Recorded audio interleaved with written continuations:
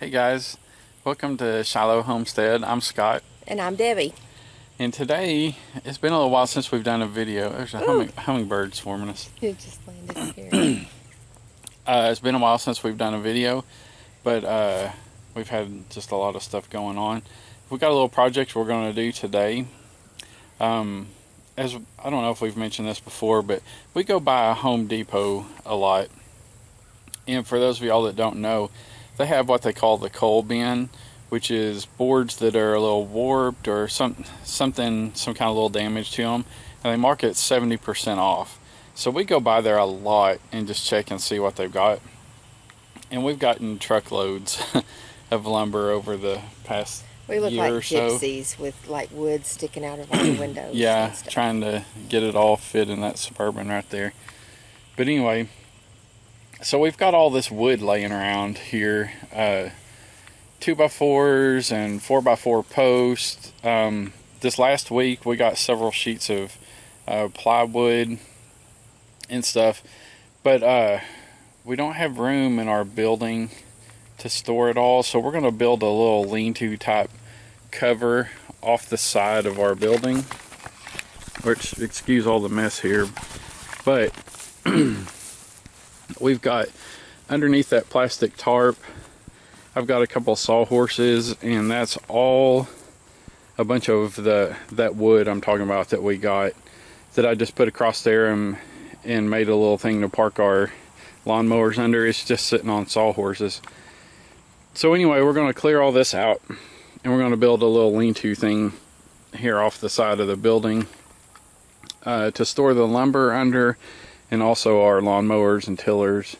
Before we get started though, we're going to take a look at the stuff that we had planted here. Um, just see how things are going. No, we're going to have to find a stake to stake up that tomato plant right there. But anyway, as y'all know, we were late planting this stuff for the summer and a little too early for fall planting. But we just wanted to get something in the ground. So that tomato plant right there is looking fairly good. The weather has been so hot here that I was afraid not much of this is going to make it. But we got some little pepper plants here that are actually putting on some little peppers.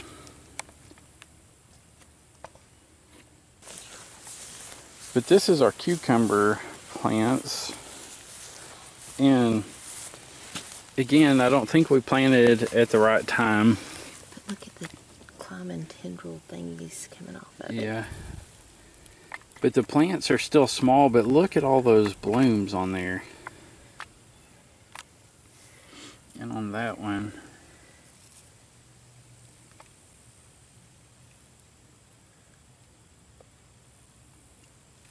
And we got one that's on, it's really starting to crawl on the ground here. But look at all those blossoms on there. They're just so compacted that I don't think it's really.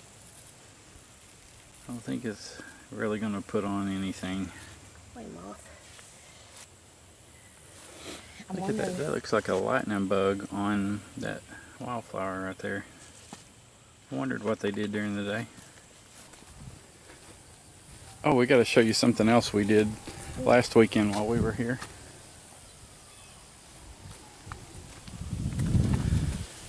The bees aren't doing much today because it's been rainy all day. Kind of a misty rain. And it's cool. I mean, it's been close to 100 heat index 110 115 over the past couple of weeks and today it is think it was 75 when we got up here on the mountain 73. 73. down to 73 at the end of August. We have a squash. we do Look. look at that i really didn't think it put on any fruit I didn't either. there's one growing on that one too There sure is. And there's still still lots of blossoms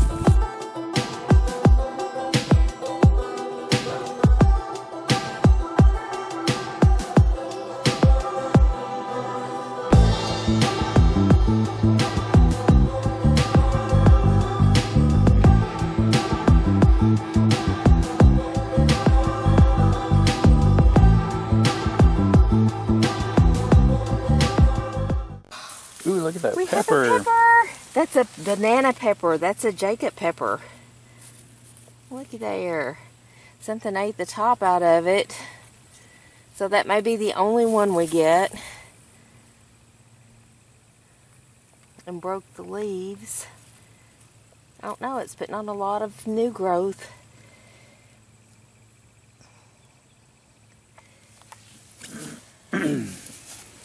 Something, something has ate. eaten the top out of our tomato plants. So they're gone. They're not going to produce. Deer probably. Well, Let's go uh, show them our project we've got going. okay. we'll start over here. Um, we walk through here so I can check on the. Okay.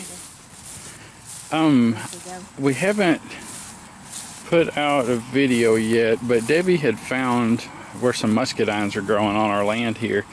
And we've got several vines that we were pretty sure were muscadine vines, and it turns out they are. So, boy, look at all the growth on that. Yeah, hydrangea. That's. Um, that's new. Yeah, a lot of new growth on down it. here, Yeah, and even on this side, there's new coming out of all that dead yeah. wood. I figured that would be all right. Yeah. And then we got another hydrangea we planted here. It looks like a lot of new growth off of it too. Yeah. Look down And there's here. some coming on the bottom, yeah. That's what I'm excited to see.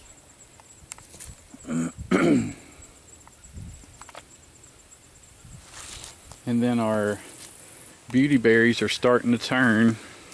Are they? Yeah. We got to keep a close eye on those because Yeah. well,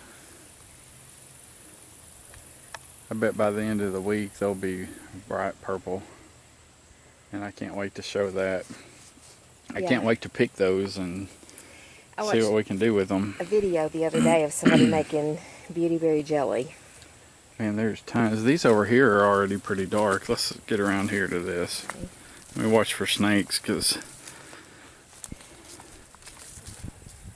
me and snakes don't get along. And still wish I knew what. See that right there? And they get so much more bright purple than that. They're just starting to turn. Man, I can't wait. I love it. Okay, so back to that. All this growth underneath this big tree over here, we were pretty sure was muscadines. And it turns out it is. So we're trying a little experiment. You'll see all of these pots we've got sitting around here. We are trying to start some off of the runners on this stuff. We're going to see how it does.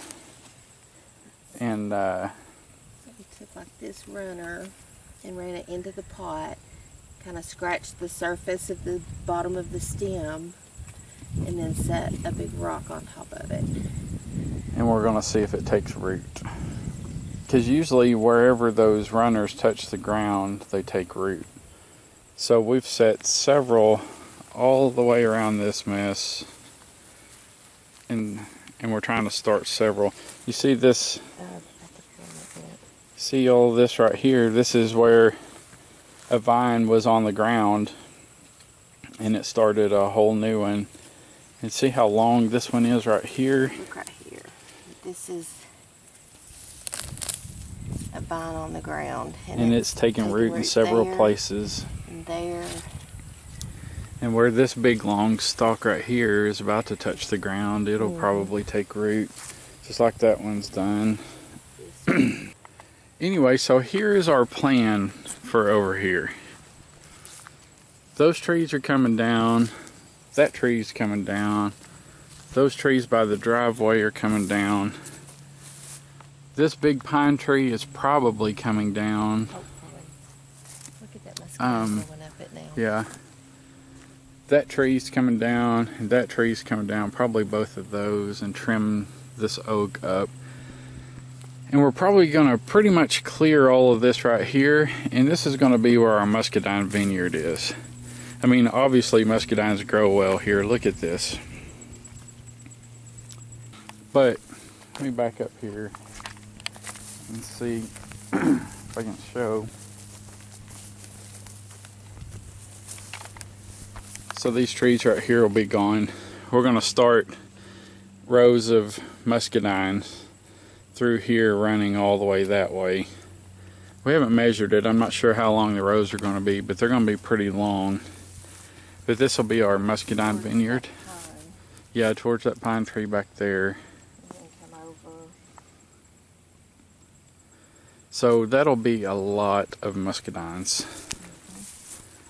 And uh, we may get into the muscadine business. And these starts that we get off of this stuff may be, we may be selling those at uh, plant shows and stuff. So, which we could, if this works, we could do hundreds of these pots. Yeah. From what is just right here, but we wanted to go ahead and try it first to make sure it was going to work. But we've got. We did that.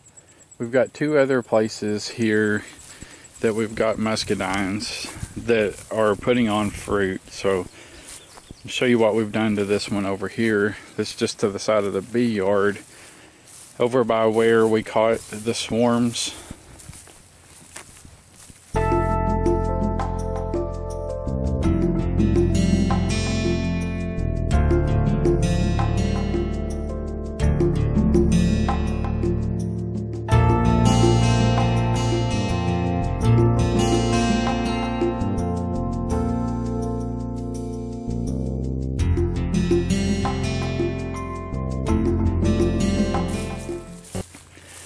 These had a little bit of fruit on them.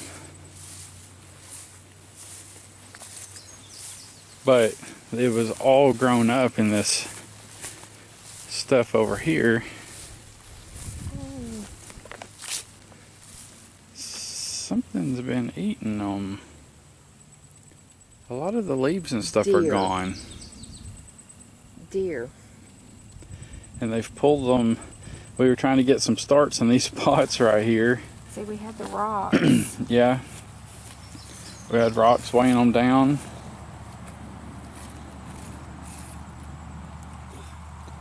But something has eaten a lot of the leaves off. And I just guarantee you it was the deer because they come through right here. But you can see this one, it's still got, I see one muscadine. Oh, there's a purple one back there. Look, just above that pink. Oh, yeah. If I can find it in the camera here. Can you point to it? Oh, there's two. Can you see it? Yeah. Hey, these were growing up in this little oak sapling right here. So we cut them out. There's still some fruit growing back there where it's still on the on that little oak too. And oh, I didn't even see these right here. Oh yeah, those are kind of sickly looking. Yeah, that one's. Oop! It fell. It was something a bug was eating on it. Yeah. But anyway, so we cut it all out of that sapling and put up this little fence trellis. but anyway, so we put this fence up and we're training it up on this fence for right now. We may end up moving it eventually, and we're gonna have to, after the season's over, we'll we'll prune it back, uh, and we'll get it looking pretty, and get it to where it'll produce more fruit. So once the ooh, look how dark purple that one is right there. Let's see if that one's ready to pick. Which one? Ooh, that one. It's a yeah, it's a pretty good size one. Is it still hard? Um, not really. You want to eat it? Oh, you can. Mmm. I'll let y'all watch me eat it. Muscadines are my favorite. This one. Oh, you found one? Mhm. Good. Mmm. Mmm. Oh my gosh. So good. All right, um, let's go check the one other place that's got muscadines, and then we got to get started on this lean-to. anyway,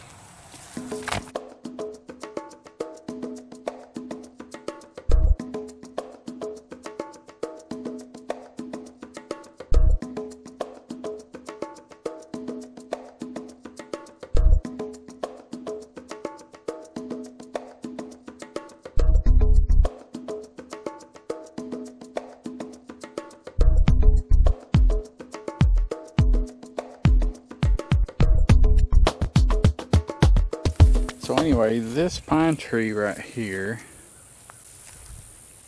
is the one that Debbie originally found. If you look up there, about 20 foot. Ooh, they're turning purple. Oh man, no. It is Oh. loaded. Look over here. Oh, wow. Oh, man, look at all those.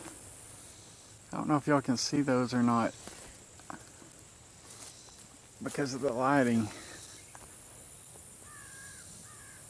There's a ton. There is a ton of muscadines up there. I'm gonna have to get my deer stand over here because it's the only thing I got tall enough. Well, that extension ladder is pretty tall. Okay, and Scott is going to get some muscadines.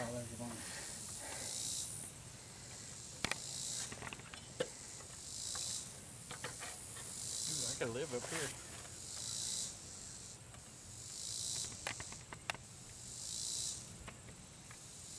I don't know that they're quite ready yet. If not, babe, just leave them and let's. That one came off pretty easy. Better try it.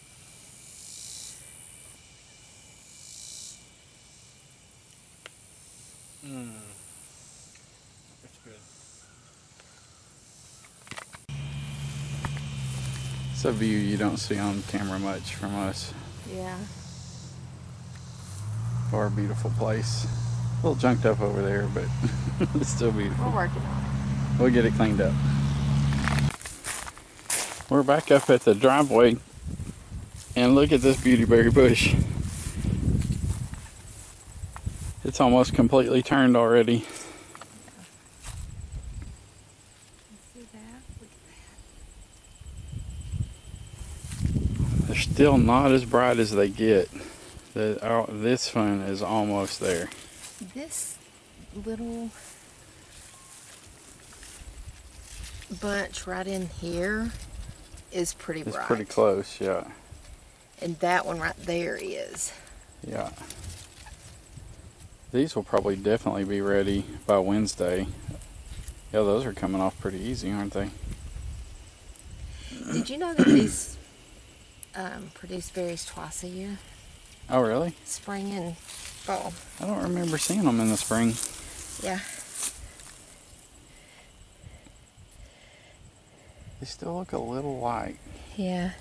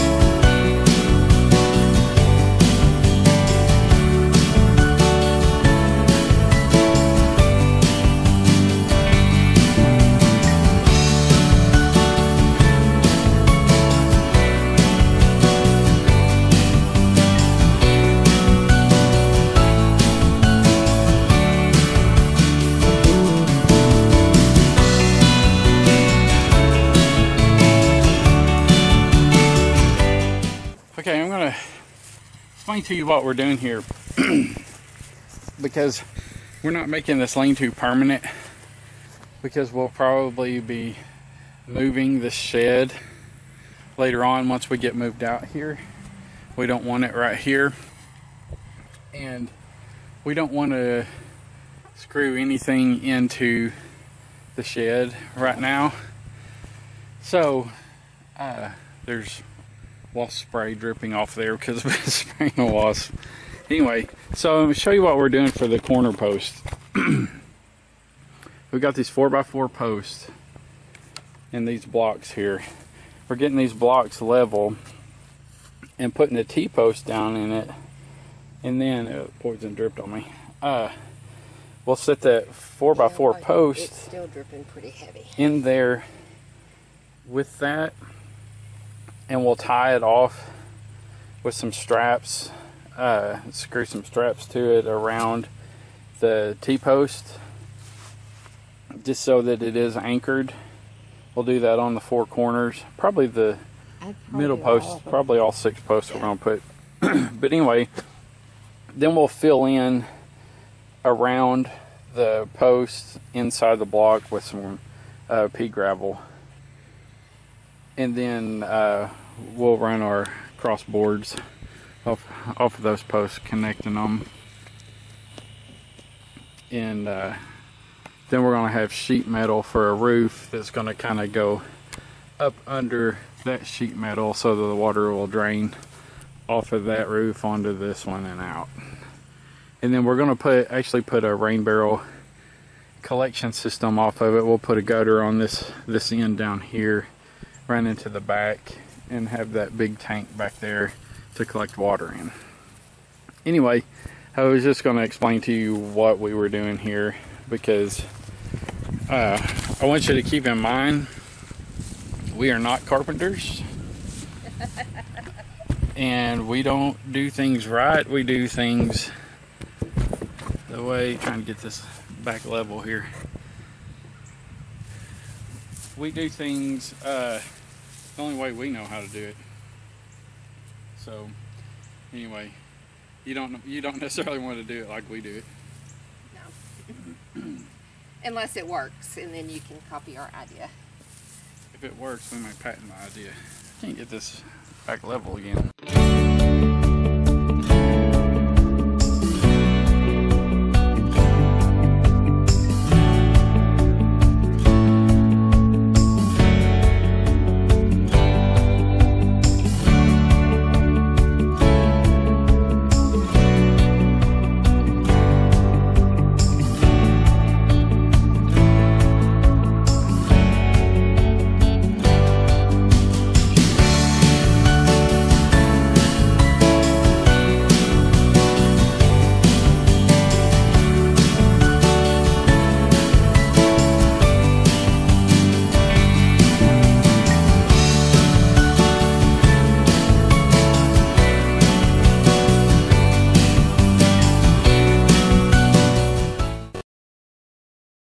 One eternity later. Hey guys, so our battery went dead the other day when we were out here working, and uh, so we didn't get to to show anymore. Um, I'm going to show you what we got done.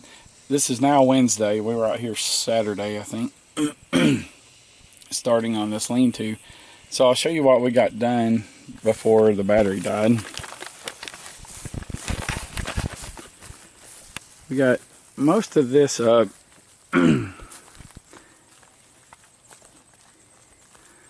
the problem we were running into sorry about the light it's uh, middle of the day.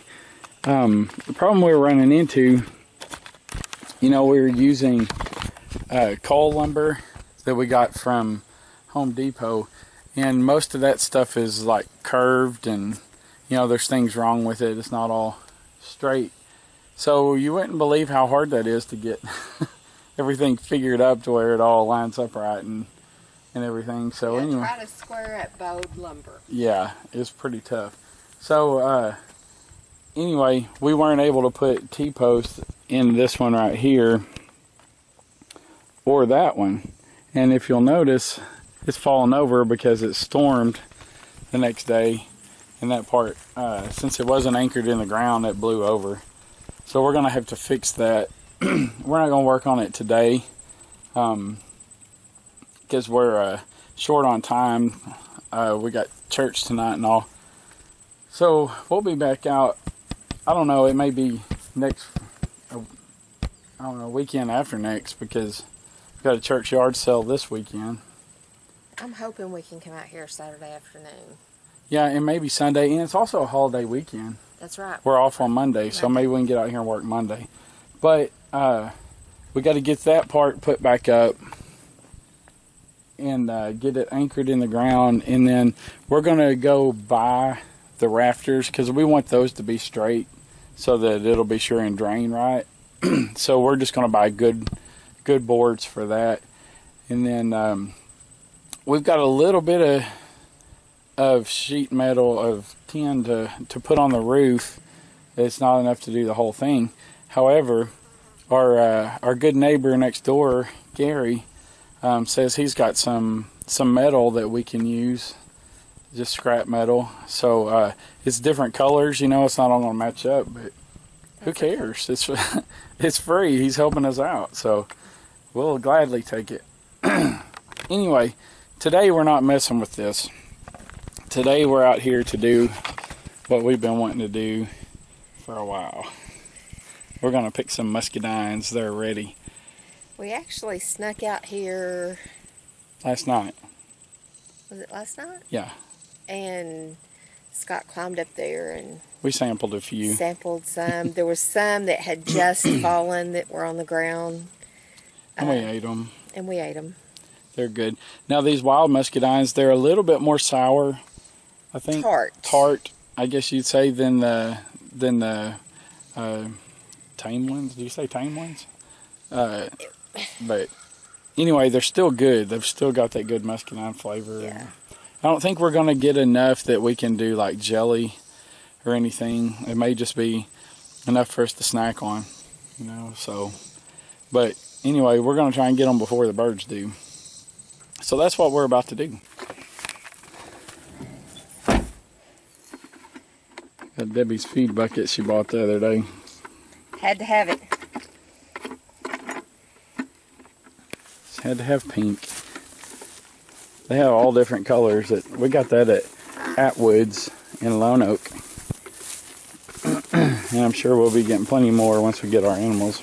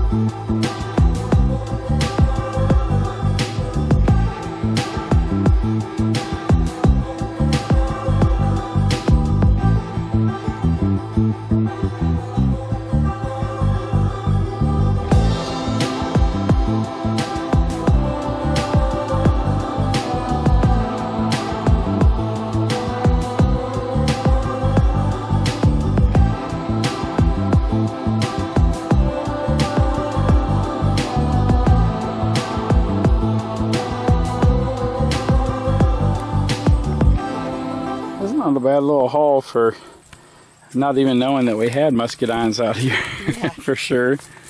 We're gonna go ahead and end this for the day. So we got got to get uh, finished up here and go get ready for church. Yep. And then uh, next time we come out and work on the uh, lean-to some more, or come out and check the garden or whatever, we'll uh, we'll do another video at the end. So anyway. So thanks for watching us here at uh, Shiloh Homestead, and we'll see you next time. God, God bless bless you. you.